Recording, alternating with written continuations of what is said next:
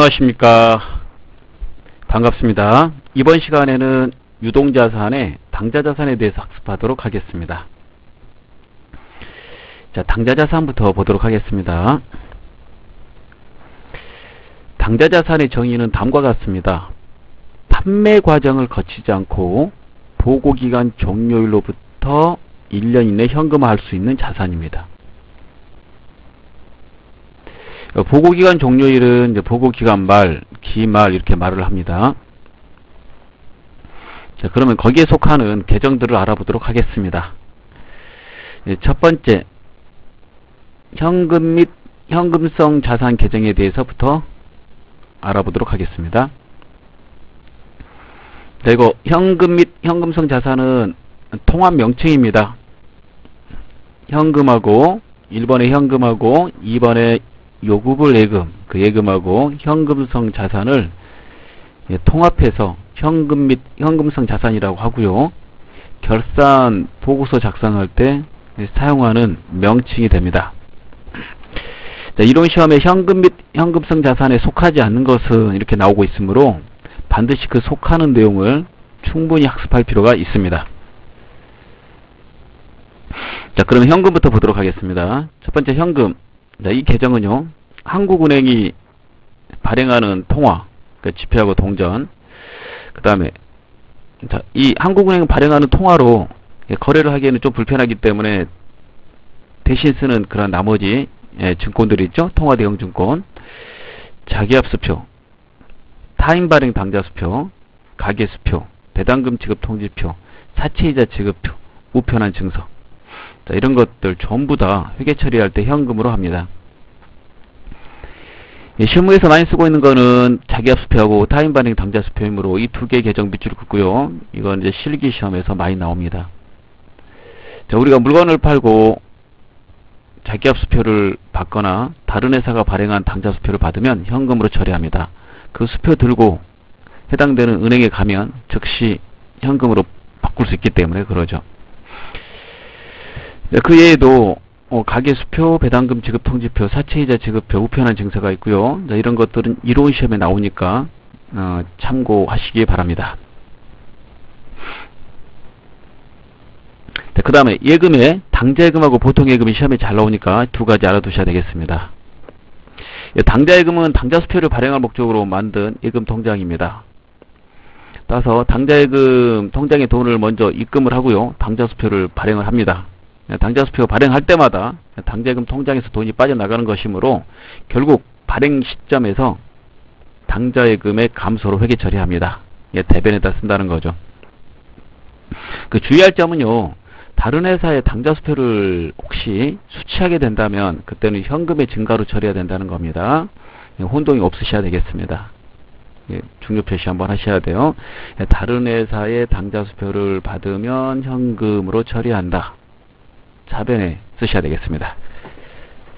자, 그리고 보통 예금은 이제 입출금이 자유로운 예금 통장이 되겠습니다. 어, 이거 뭐 특별한 거 없죠? 예, 보통 예금에 이자가 좀 들어온다는 거고 당자 예금은 참고로 이자가 들어오지 않습니다. 그 다음에 현금성 자산은요. 두 번째 줄에 있는 내용이 매우 중요한데 금융상품 중에서 취득 당시부터 만기가 3개월 이내짜리면 현금성 자산으로 분류하도록 되어 있습니다. 취득일로부터 따진다는 게 중요해요. 취득일로부터 취득일로부터 따라서 정기예금 통장을 만들었는데 만든 날짜부터 만기까지가 3개월 이내다. 그러면 현금성 자산이에요. 그 다음에 어음을 받았는데 어음이 받은 날짜부터 만기까지가 3개월 이내짜리다. 아, 그러면 현금성 자산입니다. 예. 얘는 취득일부터 따져요. 이게 중요한데요. 나머지, 나머지 기간이 나오는 거는 1년 이내가 나오거든요. 나머지들은. 단기 매매증권 우리가 앞에서 학습을 했으니까 단기 대여금 단기가 들어간 것들은 1년 이내 이런 뜻인데 그 1년이 항상 보고 기간 말부터 다음 연도 말까지예요. 따라서 12월 31일부터 보고서 작성일 기준으로 하기 때문에 다음 연도 말까지가 1년입니다. 그렇게 1년이 됐을 때 우리가 그 다음 연도 말까지 회수할 목적으로 돈을 대여하면 단기 대여금 이렇게 쓰는 거거든요. 그 1년은 전부 다 보고기간 말부터 따져서 하는 건데 이거는 취득일부터 따져서 3개월 하는 거예요. 그래야 중립 표시를 해야 돼요. 이론 문제를 풀기 위해서. 이게 좀 차이가 있습니다. 기간 따질 때 현금성 자산만 기간 따질 때 취득일로부터 따지는 거고 나머지는 보고기간 말부터 따진다. 그게 1년 이내이면 우리가 판매 과정 거치지 않았을 때 당좌 자산으로 한다라는 거죠. 그 부분 숙지하시면 되겠습니다. 자, 예제 보겠습니다. 나라 상사의 상품 100만원 가치를 매출하고 대금은 동사 발행 당좌 수표를 받았다. 이 부분이 이제 중요한 부분이죠. 자, 회계 처리해 볼까요? 상품 매출 이 부분이 현금이 됩니다. 상품 매출은 수익의 발생이므로 대변이고 현금은 자산의 증가이므로 차변이 되죠. 음, 거래 판료서하고 계정 과목 외우는 거는 필수입니다. 그래서 그게 잘 안 되시면 다시 한번 암기를 하시고 자 계속 하나씩 이어지는 계정 과목별 정리를 공부하시면 되겠습니다. 자 이거 손익거래다 라고 그랬죠? 예, 그것도 생각나셔야 되겠습니다. 손익거래가 됩니다. 자, 두 번째 거 보겠습니다. 단기 투자 자산은요. 단기 금융상품하고 단기 매매증권, 단기 대여금을 통합하는 명칭입니다. 첫 번째 단기 금융상품부터 보겠습니다. 다른 말로 단기 예금이라고 합니다. 보고기간 종료일로부터 만기가 1년 이내에 도래하는 정기예금, 정기적금 이런 통장을 만들게 되면 그걸 단기 금융상품이라고 그래요. 따라서 정기예금, 정기적금의 통장은 만기가 1년 이내일 때 사용하는 계정입니다. 정기예금, 정기적금에다 밑줄 그으시면 되겠어요. 여기에다 밑줄 긋습니다. 앞에서 말한 얘하고 혼동하는 일이 없어야 됩니다. 예, 취득부터 정기예금 통장 만든 것부터 3개월 이내에 만기가 된다면 이거는 현금성 자산이지 정기예금 적금이 아니에요. 예. 그 다음에 두 번째 단기 매매증권은요. 첫 번째 취득원가 아셔야 되겠고 두 번째 그 취득을 해서 가지고 있으면 배당금하고 이자 받는데 그거 회계 처리 알아야 되고 그 다음에 결산 시까지 계속 보유를 하고 있다면 평가해야 됩니다. 그리고 마지막에 처분하는 것까지 그래서 학습의 취득원가 1번 여기 2번 3번 4번 이렇게 네 가지를 알아야 돼요. 네 가지로 정리할 수 있습니다. 첫 번째 단기 매매증권을 취득을 했을 때는요 공정가치로 쓰도록 하고 있어요. 공정가치를 다른 말로 시가 공정가액이라고 합니다. 그 금액으로 장부에 기재하시고 취득 시에 발생되는 그 부대 비용에 대해서는 비용 처리합니다. 예를 들어서 수수료가 가장 많이 나오는데 수수료 비용으로 처리하시면 되겠습니다. 자산을 취득할 때 발생되는 비용은 자산 처리합니다. 자산의 취득원가를 가산하는데요. 유일하게 유일하게 우리 시험 범위에서 단기 매매 증권만 비용 처리해요. 조금 펜 들고 써보실 필요가 있어요. 자산 취득 시에 발생되는 비용은 자산으로 처리한다. 즉 취득원가에 가산한다. 취득원가에 가산한다. 단 단기 매매 증권만 비용 처리한다. 이렇게 오시면 다음에 거 공부할 때 아주 편합니다. 그래서 이거 하나만 비용 처리함으로 시험에서 조금 어, 나온 적이 있습니다. 이 부분 중요 표시가 돼야 될 부분이 되겠습니다. 여기서 음, 유가증권 좀 학습해 보도록 하겠습니다. 유가증권은 주식으로 대표되는 지분증권과 사채로 대표되는 채무증권이 있습니다. 지분증권에다 주식 쓰시고 채무증권에 사채라고 한번 써보세요. 이 지분증권과 채무증권을 단기간 시세차익 목적으로 샀다 그러면 단기 매매증권입니다. 그 다음에 채무증권에만 해당되는데요. 예, 사채만 해당되는데 채무증권은 대표적인 게 사채거든요. 사채를 만기 보유 목적으로 샀다 그러면 만기 보유증권으로 회계 처리합니다. 투자자산에서 학습하게 돼요. 이게 투자자산 계정입니다. 그 다음에 단기 매매 증권도 아니고 만기 보유 증권도 아니면 매도 가능 증권으로 분류를 합니다. 그래서 결국 시험 범위에 속하는 주식, 사채, 즉 지분증권과 채무증권에 유가증권에 계정 과목이 3개 있다는 것을 알아두셔야 되겠습니다. 자, 그 다음에 단기 매매증권을 보유하고 있으면 배당금하고 이자를 받을 수 있는데요. 첫 번째, 지분증권을 가지고 있을 경우 금전 배당을 받게 되면 배당금 수익으로 처리합니다. 그 다음에 채무증권인 사채를 보유할 경우 이자를 받게 되는데 이자 수익으로 처리합니다. 예, 각각 밑줄 그시면 되겠습니다. 일단 금전 배당에다 좀 체크해 주십시오. 예, 주식에 따른 배당은 금전 배당과 주식 배당이 두 가지가 있는데 예, 금전 배당 받았을 때가 배당금 수익입니다. 예, 참고로 주식 배당은 회계 처리를 하지 않아요. 예, 주식 장부에다만 기재합니다. 그 다음에 결산일이 되면요. 기말이 되면 평가를 합니다. 어떻게 평가하냐면 장부 금액하고 기말 현재 공정가치를 비교를 해서 그 차익이 발생된다면 이를 저 변동분이라고 그러는데 그게 오른 거다 그러면 단기 매매증권 평가이익으로 떨어진 거다 그러면 단기 매매증권 평가 손실로 각각 회계 처리를 하시는 거고 단기 매매증권 평가이익은 영업의 수익, 단기 매매증권 평가 손실은 영업의 비용으로 분류해서 손익계산서에 보고하도록 되어 있습니다. 자 그리고 평가이익과 평가손실이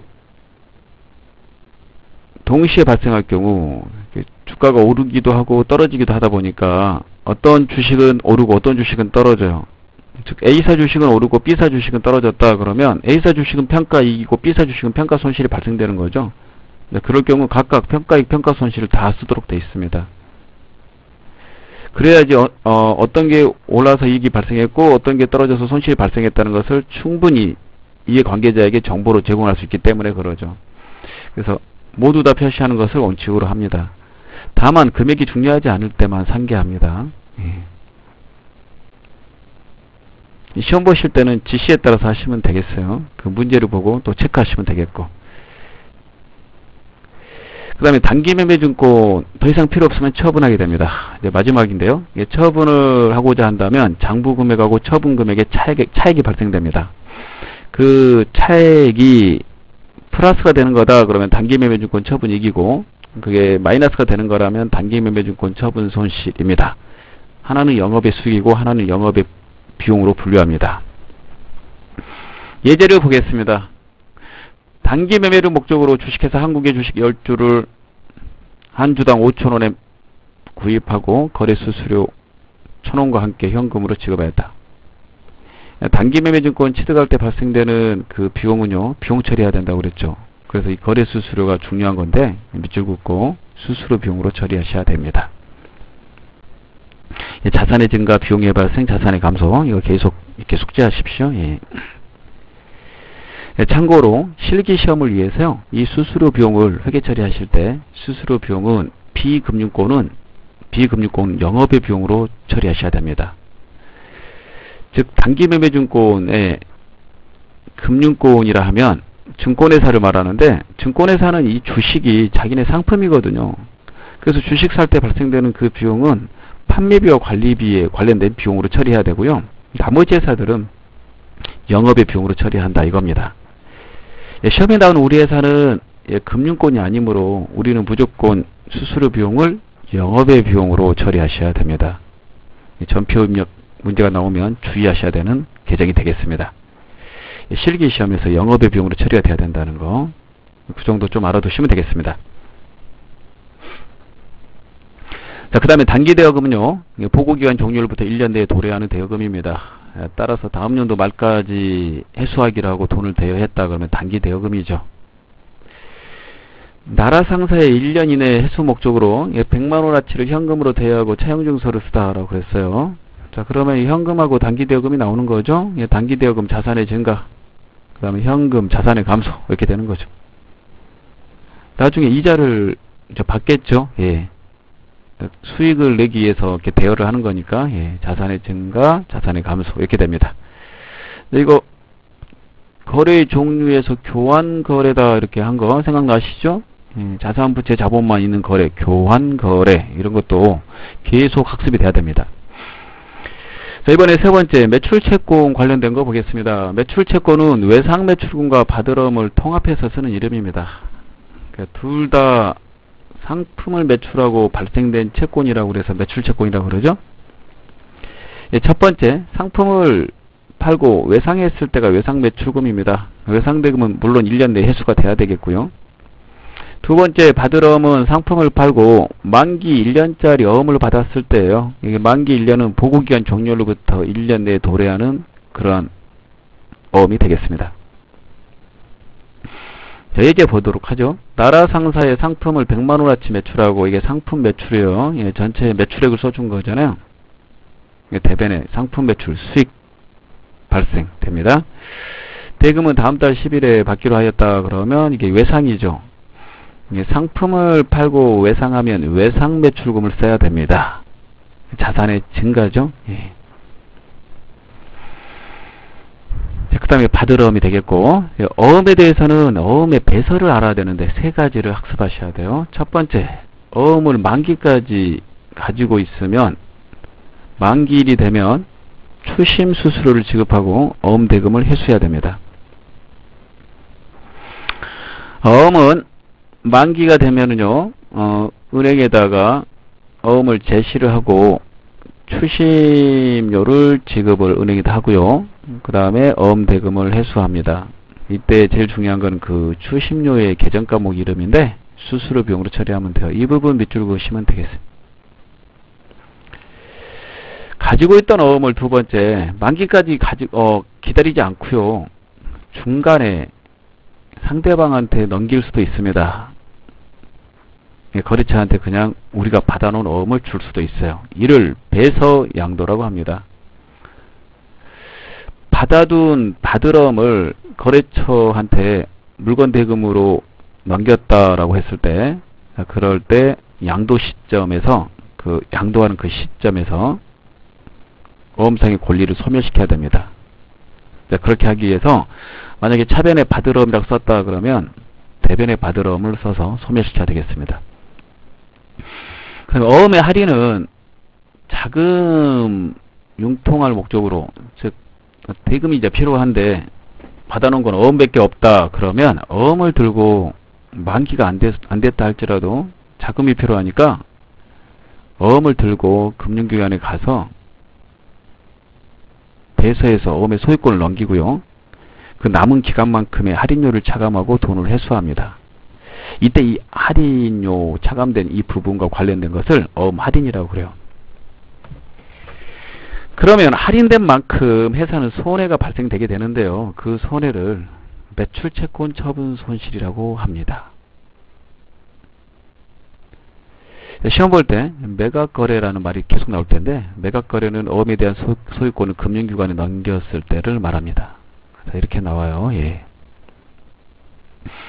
자 이제 보시죠. 나라 상사의 상품 100만원어치를 매출하고 동사 발행 약속어음으로 받았다. 1년 이내짜리 예. 상품 매출이죠. 수익의 발생.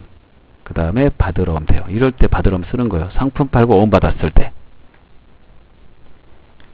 상품하고 상품 매출하고 혼동하시는 일이 없어야 돼요. 이게 전체 100만원에 팔았다 이런 말이에요. 그러니까 원가에 마진 붙여서 100만원에 팔았다 이런 말입니다. 이제 두 번째 거 보겠습니다. 나라 상사에서 받은 받으러 10만원짜리를 거래은행에 할인하고 할인료 1000원을 차감한 잔액을 보통예금 계좌로 입금받았다. 매각거래 처리할 것. 이거 어음에 대한 소유권을 은행에다 넘겼다는 말이니까 대변에 받으러옴으로 쳐라. 대변에 받으러옴으로 해결 처리하라 이 말이에요. 없애라 이런 말이죠. 매각거래니까. 차변에 할인료의 이름 중요 표시 매출 채권 처분 손실입니다. 이거 외우셔야 돼요. 비용입니다. 영업의 비용. 이게 영업의 비용이거든요. 예, 비용의 발생, 차변 이렇게 됩니다. 자산의 감소, 자산의 증가 이렇게 되는 거죠. 자 그리고 어음을 이제 받았을 때, 그 다음에 어음을 발행했을 때는 어음 대장에다 기입을 해야 돼요. 어음 기입장에 이제 받을 어음 기입장하고 지급 어음 기입장이 있습니다. 예, 이런 게 있다라고 알아두시면 되겠습니다. 예, 지금까지 한 매출 채권의 그 어, 계정을 확인해 보면 자 작년에 해수가 안 돼서 넘어온 기초 잔액부터 매출 채권이 시작되죠. 예. 그래서 기초 매출 채권, 기초 잔액에 단기에 외상으로 팔거나 단기에 어음 받으면 그 금액을 차변했습니다. 계속. 예. 그리고 어음을 회수하거나 외상 대금을 회수하면 대변에 그 금액을 써야 되겠죠. 그래서 채권에서 빼야 돼요. 그리고 외상으로 팔았는데 우리 물건의 하자로 인해서 반품 애누리 할인을 해줬다. 하자로 인해서 환입하고 애누리가 발생하거나 대금을 빨리 또 회수하면 할인을 해주거든요. 그래서 물건의 하자나 또는 약정에 따라서 할인을 받을 경우 매출 환입 및 내누리하고 매출 할인 회계 처리하는데 이건 다 해당되는 채권에서 안 받기로 한 것이므로 받아야 될 돈에서 차감하는 것이므로 해당되는 그 채권들은 전부 다 빼는 거예요.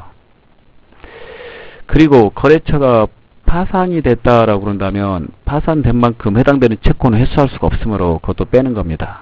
빼는 거 대변에 써야 된다는 거고 채권에서 차감을 해야 되니까 자산을 감소시켜야 되기 때문에 그렇죠. 빼는 거 이 세 개를 잘 기억하시고요. 그 다음에 해수된 것도 빼는 겁니다.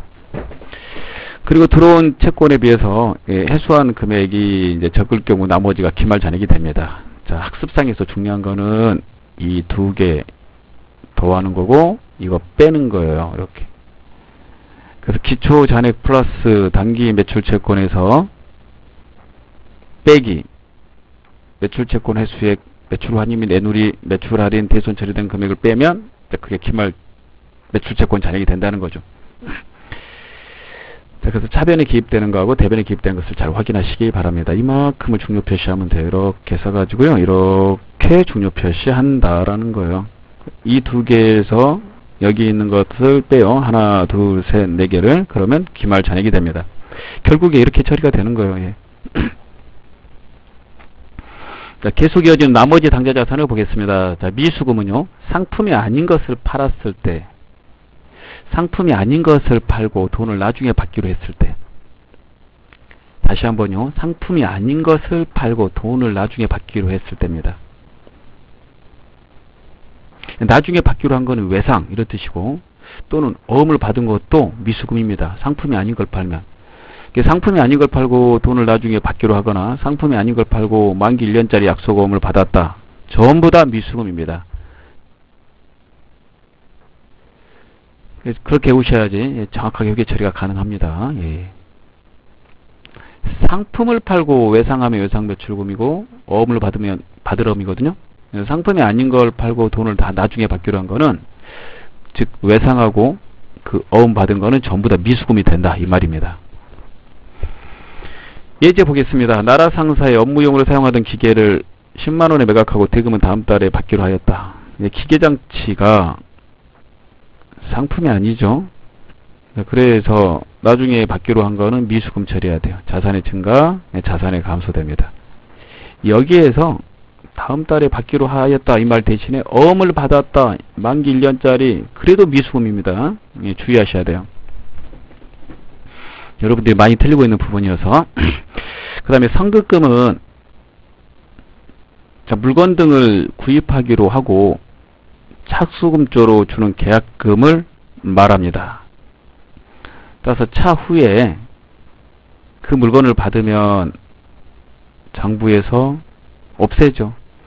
상급금은 지급을 했을 때 물건을 받을 권리가 생겼으니까 채권에 해당이 되고 따라서 계약금을 주는 순간 그 채권이 생겼으므로 자산의 증가가 되는 거예요.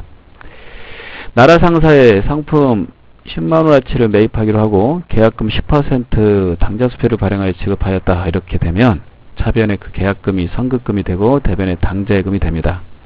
예, 당좌수표를 발행하면 당좌예금이라고 말했죠. 예, 자산의 감소이므로 대변에 써야 돼요. 그리고 이게 상품 10만원어치를 매입하기로 하고는 아직 상품을 받지 않았으므로 이게 거래가 아니에요. 이 부분은. 예, 거래가 아님.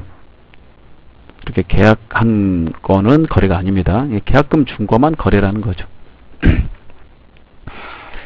자, 그 다음에 미수 수익이 나옵니다. 미수 수익은 결산일에 주로 사용하는 계정인데요. 보고기간 말까지 발생이 됐어요, 수익이.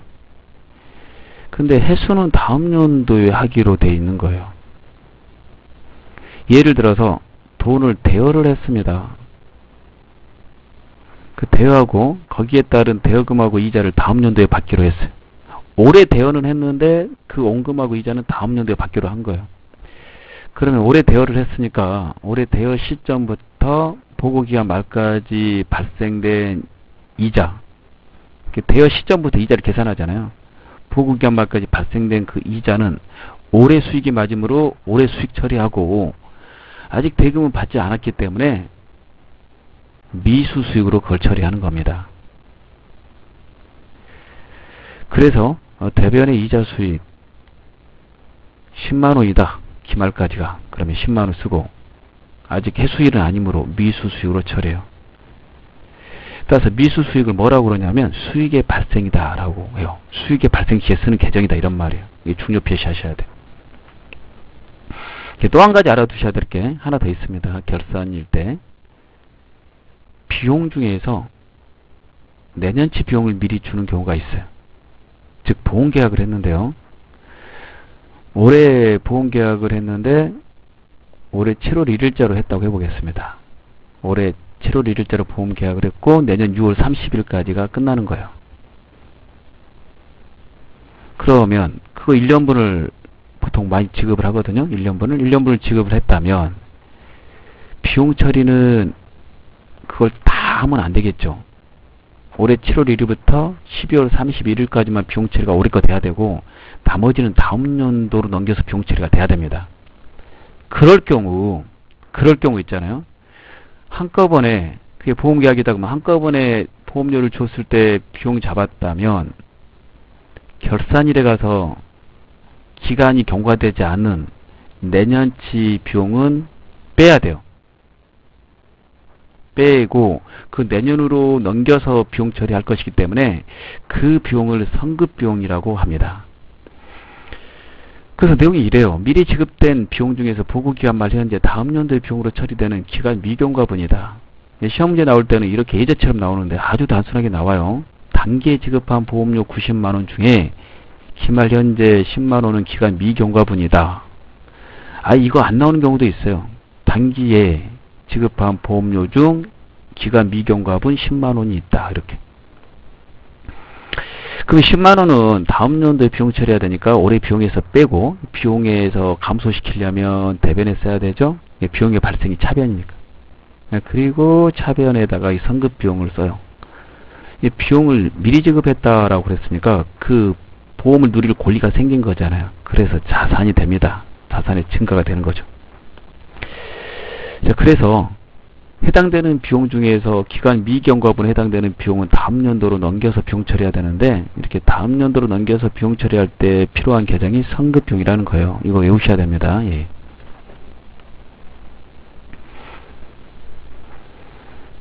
자, 이번에 가지급금을 보겠습니다. 가지급금은 현금 지출은 있었으나 계정 과목이나 금액을 확정할 수 없을 때 사용하는 임시 계정입니다. 따라서 추후에 그 금액이 확정이 되면요. 계정 과목과 금액이 확정이 되면 정부에서 없어지는 거죠. 자, 시험에서 가장 많이 나오는 거는 출장비가 나옵니다. 자, 출장을 갔는데요. 영업부 직원 김영민이 2박 3일로 출장 갔어요.